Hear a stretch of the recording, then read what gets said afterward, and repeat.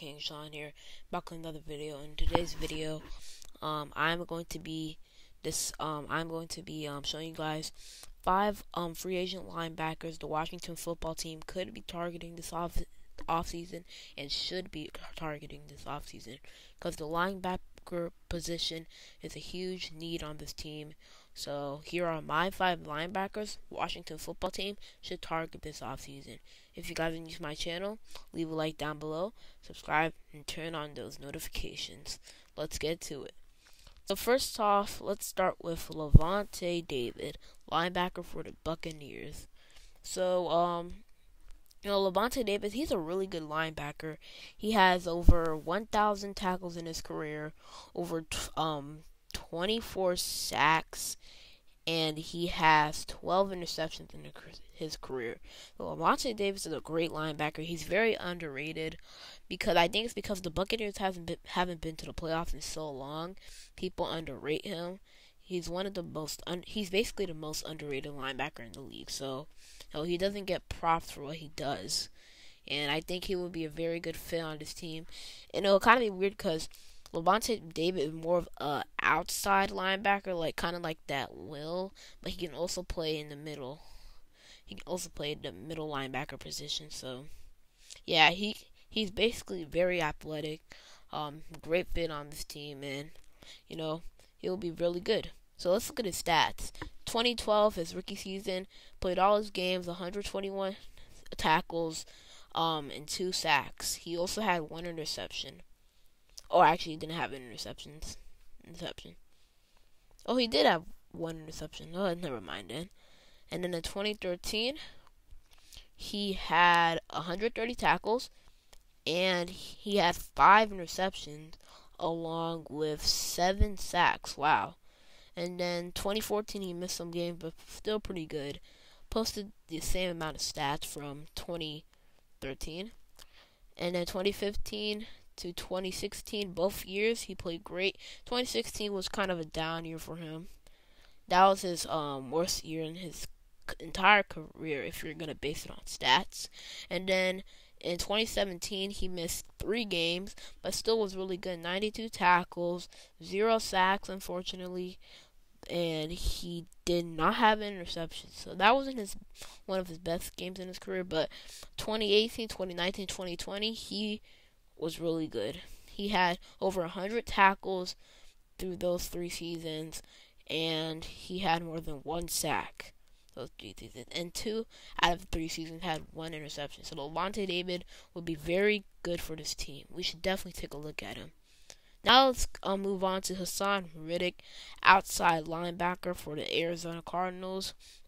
He's a really good linebacker. Um, once again, he has he wasn't like very good. Um, in 2018, 2017, 2019, but he p- performed really good this season. So I think we should definitely take a look at him. He would be pretty solid. Um, in 2017, his rookie year, he played all 16 games. He's he hasn't missed a game, which is really impressive. He hasn't missed his ga- missed a game in his entire career, so that's really good. But anyways, he played 16 games, of course, 35 tackles, two and a half sacks, and yeah, no interceptions. I mean, he wasn't great in his rookie season, but that's a rookie season, you know, not expected to play great. And then 2018, he played all 16 games, again, 76 tackles, um, and four sacks. He also had four, I mean, five pass deflections. 2019, he played better than 2018 minus the sacks. He had 73 tackles, one sack, and six pass deflections. But 2020, he, it was his best year. 61 tackles. He played all 16 games. 12 and a half sacks, most in, in his career. He has 20 com, um, combined sacks in his career and four pass deflections. I mean, that's really solid. I think at that outside linebacker position, he would be really good. He can he knows how to shoot up he knows how to shoot up the gaps. He, gaps. He can also play middle linebacker too, so you know he would be very good for this team. Definitely take a look at him. Now let's move on to Jayon Brown. He was drafted the same year as Haason Reddick, and he's played pretty well with the Titans. You know he's had um, over 50 tackles in every season besides his rookie season. Um, and he's played really good. Um, in 2017, he had uh, 49 tackles, one and a half sacks, and four pass deflections. So that's pretty good, honestly. And in 2018, he only had um two seasons where he played all 16 games. In 2018, 85 tackles. Um, what else? Six sacks. That's his. That's the most in his career. Six pass deflections, one interception, and one touchdown. That's basically his best career. I mean, best season out of his whole career. And then in 2019, he missed two games, played 14 games though, 93 tackles, one sack, uh, eight pass deflections, and one interception. So pretty good. And then this year, 2020, he he missed six games. Um, I think some of them um, was due to COVID and injuries. He but he still had a pretty solid season. 72 tackles and one sack. Also, um, eight pass deflections and one interception. So Jayon Brown, honestly, in my opinion, he's an inside linebacker. I think he will mostly fit on this team because we need a middle linebacker. We need somebody who can cover well, and he's a pretty he can cover well. I mean, in his entire career, 26 pass deflections, three interceptions. So that's pretty good based on stats. I don't know what his um percentage is, um his completion percentage when quarterbacks are targeting him, but I expect it to be low. So I think J.R. Brown is my favorite so far. Next up, Anthony Walker. Anthony Walker, middle linebacker for the Indianapolis Colts. Very good linebacker. It's kind of funny how Son Reddick, Anthony Walker, and Jayon Brown were all drafted the same year, 2017. But um, anyways, you know Anthony Walker. Uh, Anthony Walker's pretty good. He's had 100, one 100 tackle season. Uh, 2017, his rookie season, he didn't. He only played 10 games, 22 tackles, and yeah, he didn't really get that much playing time. But what do you expect? He's a rookie. I think he was drafted in the later rounds. And in 2018, he I think he became a starter. He started 15 games, 89 tackles, uh, one sack, and four pass deflections. Also one interception. That's pretty good. He's a good coverage linebacker too. He doesn't allow that many passes to be complete. So and in 2019, he had he played 16 games, 112 tackles, uh, two and a half sacks, two pass deflections, and one interception. So that's a pretty good season, and I think that's his best season in his entire career. Um, you know, if you're if per statistics.